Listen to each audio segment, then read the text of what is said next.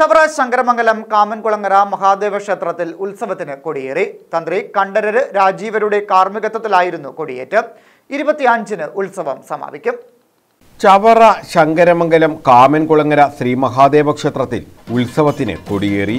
തന്ത്രി താഴമൺമഠം കണ്ഠരര് രാജീവരരുടെ കാർമ്മികത്വത്തിലായിരുന്നു കൊടിയേറ്റ് നടന്നത്.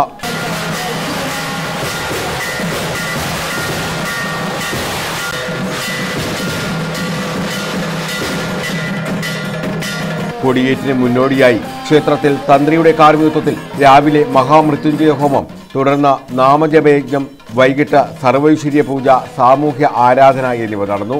സ്വാമി ദയാനന്ദ സരസ്വതികളുടെ കാർമ്മികത്വത്തിലാണ് ശിവരാത്രി ദിനത്തിൽ സർവൈശ്വര്യ പൂജയും സാമൂഹ്യ ആരാധനയും നടന്നത്. ചടങ്ങുകൾക്ക് കാമൻകുളങ്ങര മഹാദേവ ക്ഷേത്ര സംരക്ഷണ സമിതി ഭാരവാഹികൾ കാർമ്മികത്വം വഹിച്ചു. ക്ഷേത്രത്തിലെ ഉത്സവം ഫെബ്രുവരി ഇരുപത്തിനാലിന് രാത്രി പള്ളിവേട്ടയും ഇരുപത്തിയഞ്ചിന് വൈകിട്ട് ആറാട്ടും കഴിഞ്ഞ് കൊടിയിറക്കുന്നതോടെ സമാപിക്കും.